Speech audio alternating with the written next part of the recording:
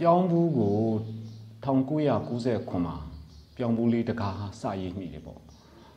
အဲ site ကသူက18လက်မှ24လက်မှအဲ့ဒီ site ကလေးတကား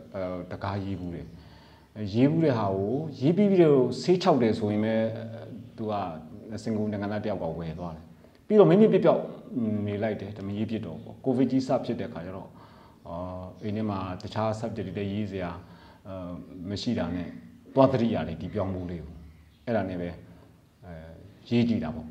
ရေးကြည့်တဲ့ခါကျတော့ပထမရေးတုန်းကတော့သူက live site လောက်ပဲပေါ့နော်အဲ့ဒါလောက်ပဲရေးလိုက်တာအခုကျတော့ contemporary ပေါ့နိုင်ငံခြားဆရာတွေရေးသလိုအကြီးကြီးတွေရေးကြည့်မယ်ဆိုပြီးတော့တကားစရေးတယ်ရေးရဆိုပဲအဲချက်ချင်းတိုက်တဲ့လူကတွေ့သွားတာပဲနော်အဲလူကြိုက်တကယ်ကိုများခဲ့ပါတယ်ပြောင်းမှုကဟိုရေးရတာလည်းတကယ်ကိုစိတ်ဝင်စားစရာကောင်းတယ်ပြောင်းမှုစီလေးတွေအဲ ပြောင်းမှုအရွက်ကလေးတွေအလင်းရောင်လေးကြပုံလေးတွေဒါလေးတွေကိုရေးရတယ်အမြဲတမ်းအမြဲတမ်းဟိုစိတ်ဝင်စားစရာကောင်းပါလေရှေ့ဆက်အများကြီးပြောင်းမှုကိုရေးအောင်ပါ